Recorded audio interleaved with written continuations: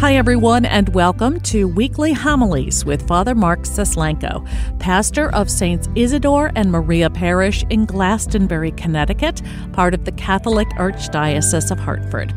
I'm Carol Vassar, Parish Director of Communications, and this is episode 20 of season 6 for the seventh Sunday of Easter, May 21st, 2023. Our gospel reading is from John chapter 17, verses 1 through 11a. Jesus raised his eyes to heaven and said, Father, the hour has come.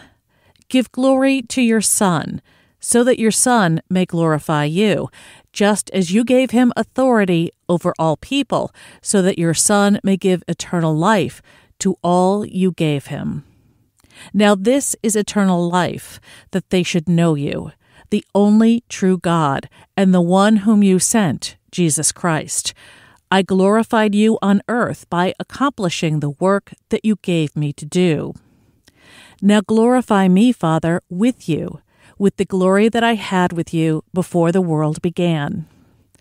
I revealed your name to those whom you gave me out of the world. They belonged to you, and you gave them to me, and they have kept your word.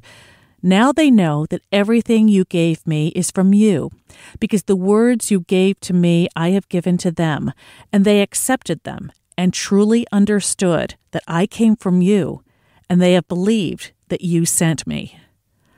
I pray for them. I do not pray for the world, but for the ones you have given me, because they are yours. And everything of mine is yours, and everything of yours is mine, and I have been glorified in them. And now I will no longer be in the world, but they are in the world, while I am coming to you. The Gospel of the Lord. As we celebrated this past week, the very beautiful feast of Jesus' ascension into heaven, I found myself reflecting upon the parable of the prodigal son.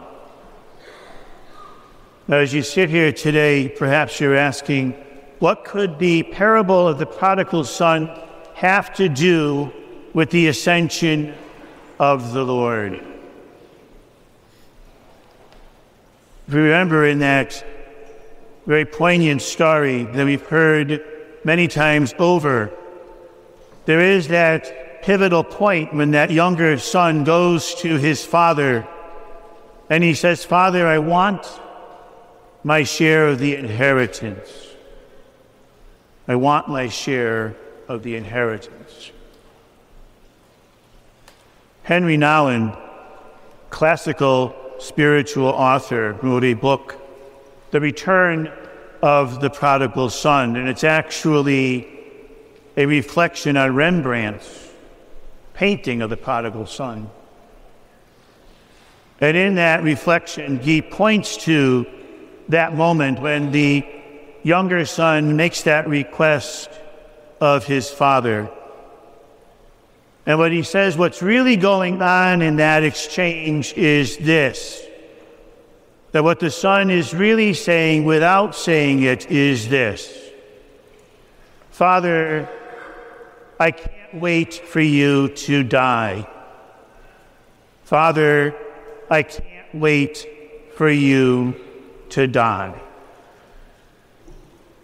When we look at that in that context, it makes that request to the Son even more offensive than it is at first glance. It really is a heartless rejection of the home in which that boy was born and nurtured, and a true rupture and break with the traditions that upheld his request as being blatantly wrong. It was unheard of, then and even now, to make such a demand of one's father. That young man struggled with understanding the meaning of home, not in the physical sense but in the spiritual one. When Jesus ascended to his Father in heaven, Jesus simply went home. Jesus went home.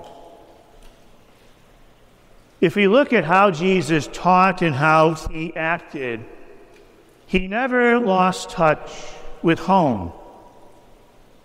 He knew inwardly where he came from and where he was going. And that allowed him to do the work that he had to do in between. You and I, in a deeply profound spiritual way, struggle with understanding our home. We struggle with staying home with God, where we know we belong. It's almost as if we say to God, Thank you, but no thank you for the gift of life and for the promise of eternal life. But I'm going to take that and go and do as I wish because I caught this.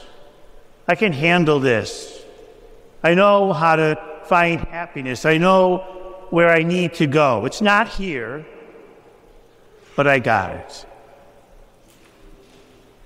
And so, without being a bad person, so to speak, we often find ourselves drifting away, moving away from our center, from our focus, from where we know we really need and ought to be we can find ourselves easily self absorbed, even in things that may be legitimate at the time.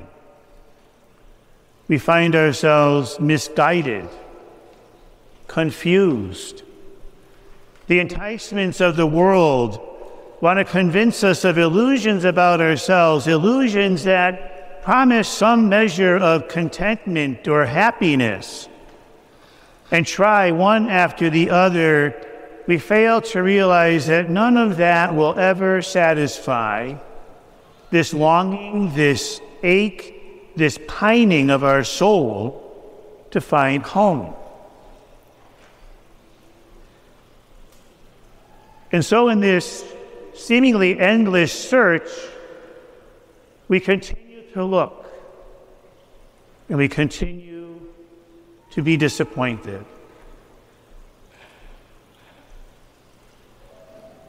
Faith and good, healthy religion exist to keep us focused, to point to home, to remove some of the misguided notions, to break apart the illusions, to clear up the cobwebs of our minds and souls to remove us from our self absorption and focus us outward and elsewhere, to tell us who we are, where we're going, and who we ultimately are meant to be. We struggle with not only who we are, but where we belong. Who has claim over the essence of my soul?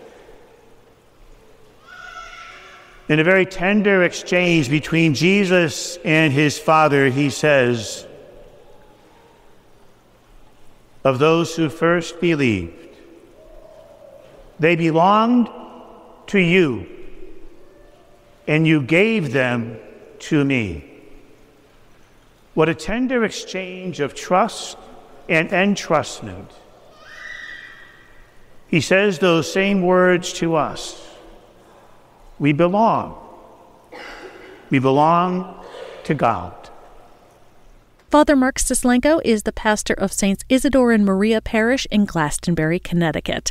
Learn more about our parish community at isidoreandmaria.org and follow us on social media Facebook, Twitter, and Instagram. Our music comes free of charge from Blue Dot Sessions in Fall River, Massachusetts. I'm Carol Vassar. Thanks for listening.